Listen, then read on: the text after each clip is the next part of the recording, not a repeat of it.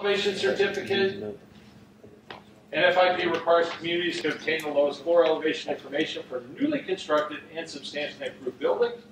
You must maintain this information and it provides a formal record of compliance. I'm not going to spend a lot of time on the elevation certificate because it's, it's fundamental, it's straightforward. However, I do want to remind you, the instructions are your friend. Because like if I read this part, if somebody says, hey, who can complete the elevation certificate? Right here, land surveyor, engineer, architect. Those are the fundamentals that we see about what the requirements are. Community officials who are even authorized by law. That hardly ever happens in the state of Florida. I don't know how it is in your areas, but none of us in the state of Florida want to sign the elevation certificate because then you're essentially signing responsibility for that. Plus, it's an apparent conflict of interest if I'm signing an elevation certificate for people in my jurisdiction, because then they'd be like, well, why didn't you sign mine? Well, why didn't you sign his? You know, particularly if they know you're signing them and you're not charging, and surveyors are charging, then I got a line of surveyors out front of my office going, hey, you're stealing money from me. What are you doing? But South Carolina with engineers and surveyors, Mm-hmm. surveyors. Engineer can't do an elevation certificate. so it's not- Right, and then, they, yeah, and it leads to the debate, hey, you're taking money from me. Here's the other part where it's our friend. So, what do I do if the surveyor can't gain access to a crawl space? Does anybody know off the top of your head? No, neither do I. But you know what? There it is. It's on the elevation certificate. So, all these little caveats, all these little incidental questions on what a surveyor is supposed to do if they can't get into the crawl space, well, right there, I can use a yardstick or tape measure, I can contact the floodplain administrator, or I can use the documentation from the known height. Those are my parameters. That is on the elevation certificate instructions.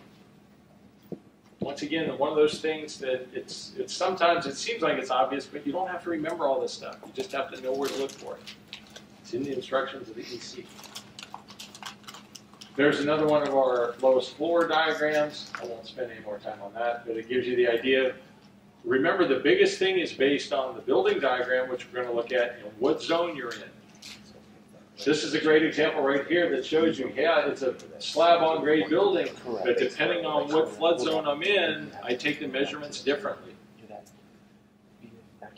Here's all my building diagrams. I, I like this one because I bring up the highlight down the bottom.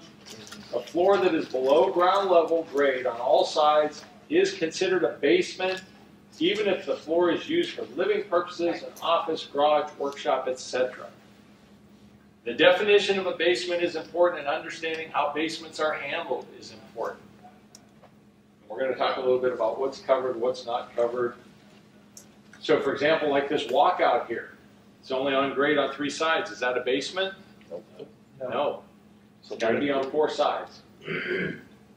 what about if I have a living room that's sunken, the floor is sunken three feet, but it's sunken all the way around?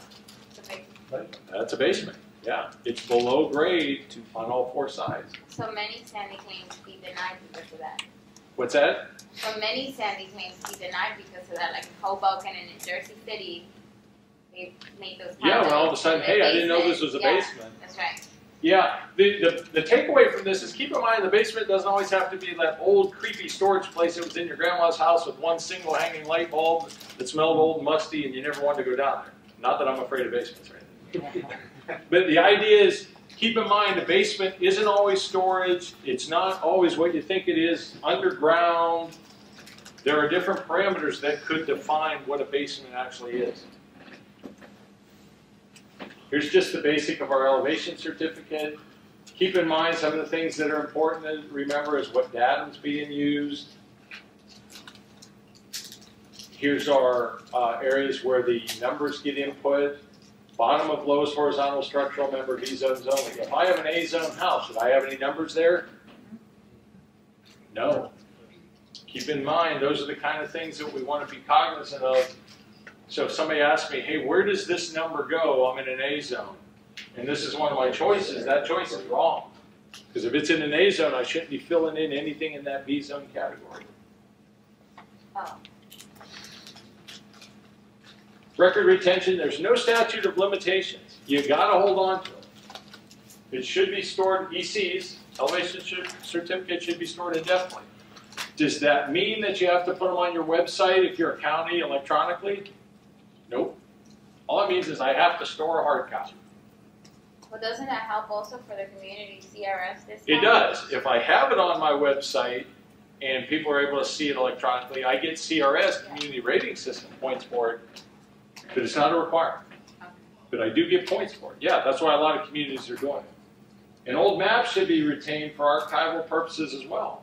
Because once these maps are gone or gotten rid of, who knows if you can get another copy, but all of a sudden when you're trying to determine something from 15 or 20 years ago, if you don't have some kind of documentation, you're on a wild goose chase to figure it out. Not that that's ever happened in my county either.